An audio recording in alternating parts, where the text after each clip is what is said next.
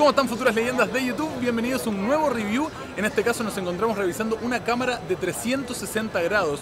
Una cámara que se ha utilizado mucho en YouTube, que de repente ha sido un poco criticada porque se ve un poquito pixelada, pero eso con el tiempo va a ir mejorando. Así que vamos a revisar las mejores características de esta cámara Kodak 360. La cámara Kodak Pix Pro SP360 es en mi opinión una de las novedades para este 2016. No solo tiene la capacidad de grabar en 360 grados y en 4K, es un equipo compatible con Facebook y con YouTube.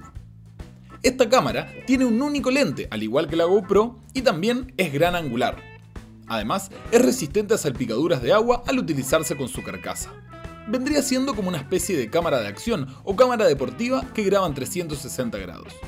Su batería dura aproximadamente una hora y media, y esta cámara para funcionar utiliza tarjetas micro SD de hasta 128 GB. Esta cámara requiere de un software especial, pero es entregado en forma gratuita al comprar la cámara. He visto varios videos de youtubers haciendo clips musicales y registrando paseos completos con esta cámara. Estoy seguro que en el año 2016 veremos muchas ideas novedosas en 360 grados. Ahí tenemos entonces las características destacadas de esta cámara 360, sin duda una tecnología muy novedosa que poco a poco se va a ir transformando en algo mucho más real.